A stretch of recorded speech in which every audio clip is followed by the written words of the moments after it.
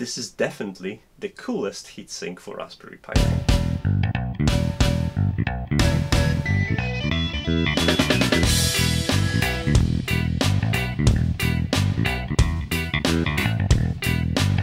Hi, I'm Matt and this is Not Enough Tech.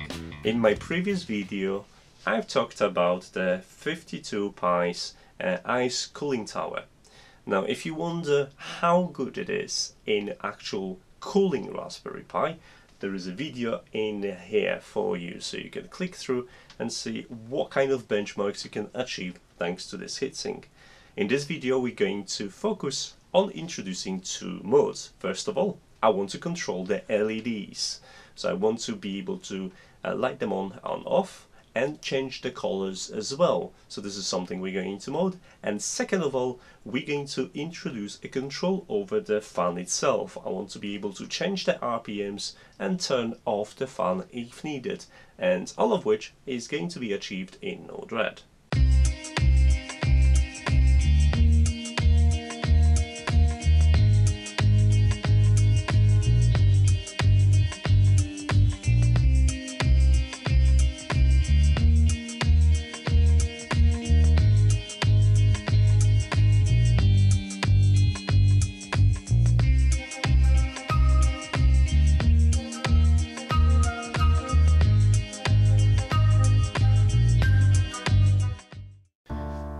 Let's take a look how it works. First of all, let's go over the pinout. As you can see, the power stays the same, so I have 5 volts and ground connectors connected.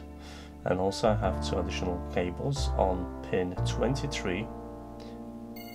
And this is the RGB driver, and pin 18 and this is driver for the fan. This is where the PWM signal goes. You can use any pin that supports PWM.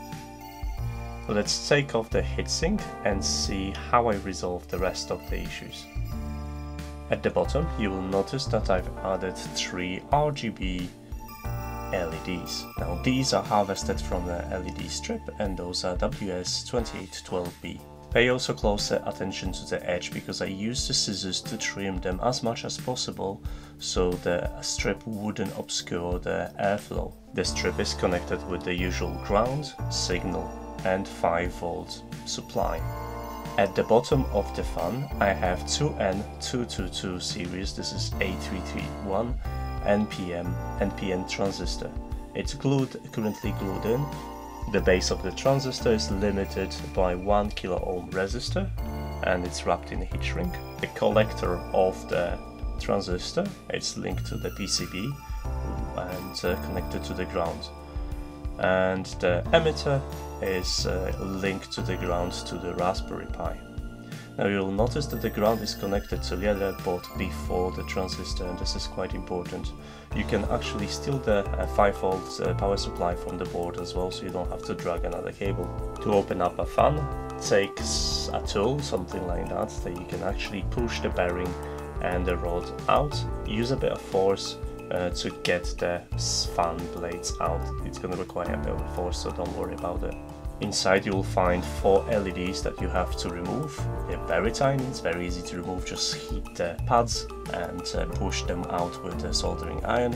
And also this is where you can connect 5 volts for your uh, RGB LEDs. When putting this stuff together, just make sure all cables are aligned nicely and you're not going to snag any cables between the fan and the heatsink itself if you get any exposed connections, just be extra careful to not to cause any shorts. Once you put everything together and correct cables to correct GPIO pins, it's time to open Node-RED and actually write the driver for both, for the RGB LEDs and for the fan itself. So in Node-RED you'll notice that I've created settings and you'll be able to customize a couple of things. So first of all, if you open this and deploy, you'll be able to set your names for the colors. Those are HTML names and you can find the names in here if you click on RGB uh, the pixel. There is a list of all the colors that you can use. Uh, in terms of names, obviously you can use RGB values as well if you want to uh, pick different colors. So how does it work? Every 5 seconds I'm checking CPU usage and in this case I just send a single message with a core temperature and based on temperature I direct RGBs and RPM speed. So let's take a look at RGBs. Inside you'll see that there is a, a, a function node which uh, takes the color values that you set and then based on the brackets so for example below 33 I have color 1 below 35 color 2 etc etc uh, composes the message and sends that as a message payload to that uh, GPIO uh, 18 so this is only for GPIO 18 as you can see in uh, the description of the node. It won't work with any other uh, ones. So you have to make sure you connected it to GPIO 18 now uh, don't set any details in here. Just fill in how many LEDs you've got. I've got three LEDs and that's pretty much everything you need. In a similar fashion we have control for RPMs. So pick a pin that has uh, the PWM uh, controls. Uh, for me it was 23 and then uh, get your speed values. Now the speed values I've picked are 30, 50 and 100 which are listed here. I've noticed that my fan wasn't spinning below 30.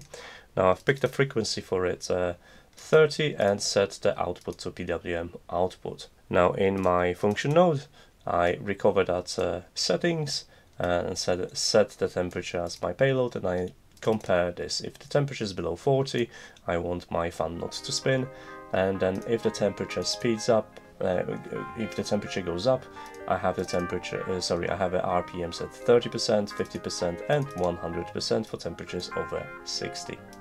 That's pretty much everything. So guys, if you're interested in modding your ice cooling tower, uh, there is obviously a link in the description of this video for everything that you need to know. As usual guys, I do not have a posting schedule, so if you're interested in my content and would like an update, head to my social media so you would get notified whenever there is a new article. If you want a video notification, you know how YouTube works and I don't have to teach you that. As for now guys, thanks so much for watching and I'll see you in the next video. Take care. Bye.